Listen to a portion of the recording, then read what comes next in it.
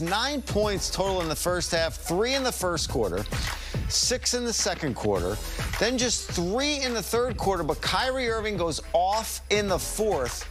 He scores 15 points on four of eight shooting, goes two for two from downtown, and is a perfect five for five at the free throw line in that closing stanza moments ago. He met with the media. Kyrie, three in a row, and like the past two, kind of had to grind it out the inches. What, what was the difference for, the, for you guys tonight? Uh, just staying disciplined, uh, not giving up too many easy ones, especially down the stretch. Uh, we had a pretty decent third quarter, but I felt like the fourth quarter we created that separation we needed. You've now played, I think, as many games pre and post suspension. You talked early on afterwards coming back about still getting into a groove and everything. But do you kind of feel almost all the way back, acclimation wise and whatnot? Man, I came into the season with uh, so many hours put into my craft and being very sharp. And for me to be removed like that, my rhythm, of course, was thrown off. I mean, I didn't play for uh, 14 days or something like that. Uh, so I was so proud to work as hard as I did in the summertime and come in prepared and just feeling good. And then I had to work myself uh, back into the to rhythm. I mean, it's part of life. But now, uh, just dealing with it and, and, just being there for my teammates and doing whatever it takes to win. So it's the same mentality. Just the, the ball is not going to the rim as often as I would like. Um, still, you know, 21 attempts. I would like to cut that down to about. You know, maybe nine for 12 or nine for 13, just being efficient with the opportunities I get, um, but still staying aggressive. Kyrie, can you kind of, I guess, describe the challenge of doubling down on the small ball, even though other teams are going to intentionally play big and trying to exploit that of you guys? Yeah, we it requires us to do all the little things uh, and hold each other accountable, uh, despite the height differential. So we know that uh, sometimes that could be our Achilles heel, but we still got to do little things like boxing out and just double teaming on guys that are going to the rim and, and just being smart about how we utilize our fouls when we get in a bad way. And, and, second, you spoke about efficiency. I mean, Kevin had the night he had. He only missed a handful of shots. Just what's it like to see him do this consistently? I mean, it's got to be. It can't be a surprise anymore. Let's keep it rolling.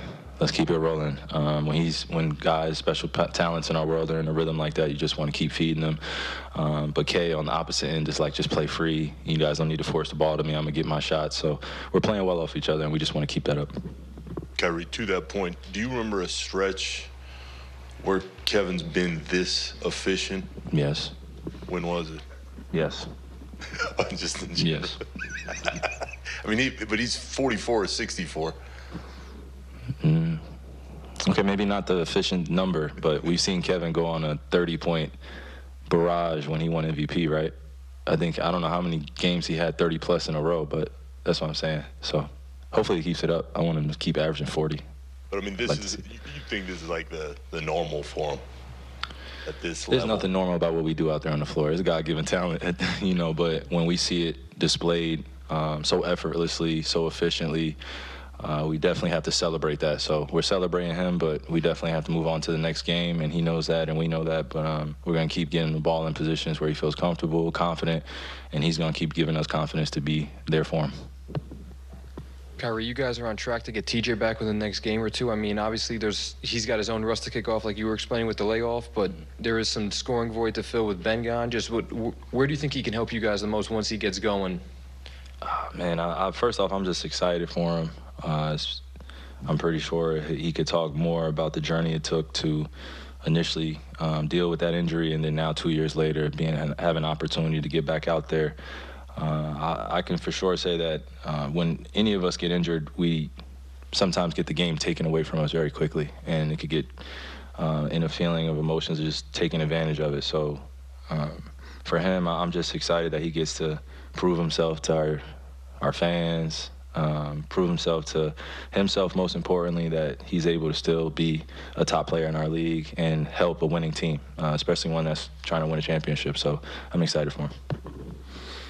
Kyrie, uh, it looked like you attacked the rim more today. Was that uh, a focus or is that just organic? Just playing the game. Playing the game. Uh, and then this is uh, first time you guys are over 500. Is that something you pay attention to? Uh, yeah. So something to celebrate for sure. Something to definitely not take for granted. Um, a lot of hard work getting to this point. Total team effort. Kyrie, you guys have had guys in and out of the lineup since you and Kevin got here. Just what's the key with Ben out and with Yuta out for a week, with TJ coming in? What's the key to keeping guys on the same page, even though guys might be in and out of the rotation? Uh, well, I mean, it's difficult to replace anybody, uh, you know, especially when you got a good rhythm going.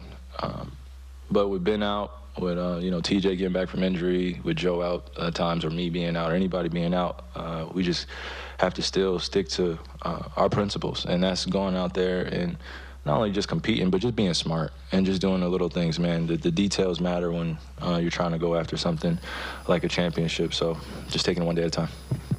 We heard nine points total in the first half, three in the first quarter, six in the second quarter, then just three in the third quarter. But Kyrie Irving goes off in the fourth. He scores 15 points on four of eight shooting, goes two for two from downtown, and is a perfect five for five at the free throw line in that closing stanza moments ago. He met with the media. Kyrie, three in a row, and like the past two, kind of had to grind it out the end. What, what was the difference for, the, for you guys tonight? Uh, just staying disciplined, uh, not giving up too many easy ones, especially down the stretch. Uh, we had a pretty decent third quarter, but I felt like the fourth quarter we created that separation we needed. You've now played, I think, as many games pre and post suspension. You talked early on afterwards coming back about still getting into a groove and everything. I mean, do you kind of feel almost all the way back, acclimation wise and whatnot? Man, I came into the season with uh, so many hours put into my craft and being very sharp. And for me to be removed like that my rhythm, of course, was thrown off. I mean, I didn't play for uh, 14 days or something like that. Uh, so I was so proud to work as hard as I did in the summertime and come in prepared and just feeling good. And then I had to work myself uh, back into the to rhythm. I mean, it's part of life, but now uh, just dealing with it and, and, just being there for my teammates and doing whatever it takes to win. So it's the same mentality, just the, the ball is not going to the rim as often as I would like. Um, still, you know, 21 attempts, I would like to cut that down to about you know, maybe nine for 12 or nine for 13, just being efficient with the opportunities I get, um, but still staying aggressive. Kyrie, can you kind of, I guess, describe the challenge of doubling down on the small ball, even though other teams are going to intentionally play big and trying to exploit that of you guys?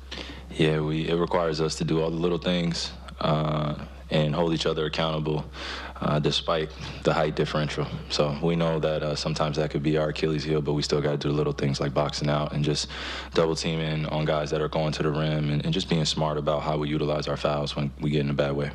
And, and, second, you spoke about efficiency. I mean, Kevin had the night he had. He only missed a handful of shots. Just what's it like to see him do this consistently? I mean, it's got to be. It can't be a surprise anymore. Let's keep it rolling let's keep it rolling. Um, when he's when guys, special talents in our world are in a rhythm like that, you just want to keep feeding them.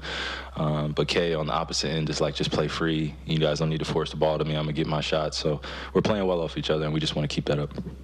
Kyrie, to that point, do you remember a stretch where Kevin's been this efficient? Yes. When was it? Yes. just in Yes. I mean, he, but he's 44 or 64. Mm. Okay, maybe not the efficient number, but we've seen Kevin go on a 30 point barrage when he won MVP, right? I think, I don't know how many games he had 30 plus in a row, but that's what I'm saying. So hopefully he keeps it up. I want him to keep averaging 40. But I mean, this is, you think this is like the, the normal for him? At this level. There's level. nothing normal about what we do out there on the floor. It's God-given talent, you know. But when we see it displayed um, so effortlessly, so efficiently, uh, we definitely have to celebrate that. So we're celebrating him, but we definitely have to move on to the next game, and he knows that, and we know that. But um, we're going to keep getting the ball in positions where he feels comfortable, confident, and he's going to keep giving us confidence to be there for him. Kyrie, you guys are on track to get TJ back within the next game or two. I mean, obviously, there's he's got his own rust to kick off, like you were explaining with the layoff, but there is some scoring void to fill with Ben gone. Just what, where do you think he can help you guys the most once he gets going? Uh, man, I, I, first off, I'm just excited for him. Uh, I'm pretty sure he could talk more about the journey it took to initially um, deal with that injury, and then now two years later, being have an opportunity to get back out there. Uh, I, I, can for sure say that uh, when any of us get injured, we sometimes get the game taken away from us very quickly, and it could get uh, in a feeling of emotions just taking advantage of it. So um, for him, I'm just excited that he gets to prove himself to our our fans, um, prove himself to himself, most importantly, that he's able to still be a top player in our league and help a winning team, uh, especially one that's trying to win a championship. So I'm excited for him.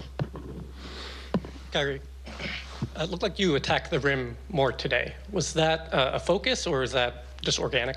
Just playing the game, playing the game. Uh, then this is uh, first time you guys are over 500. Is that something you pay attention to? Uh, yeah, so something to celebrate for sure. Something to definitely not take for granted. Um, a lot of hard work getting to this point. Total team effort. Kyrie, you guys have had guys in and out of the lineup since you and Kevin got here. Just what's the key with Ben out and with Yuta out for a week, with TJ coming in? What's the key to keeping guys on the same page, even though guys might be in and out of the rotation? Uh, well, I mean, it's difficult to replace anybody, uh, you know, especially when you got a good rhythm going.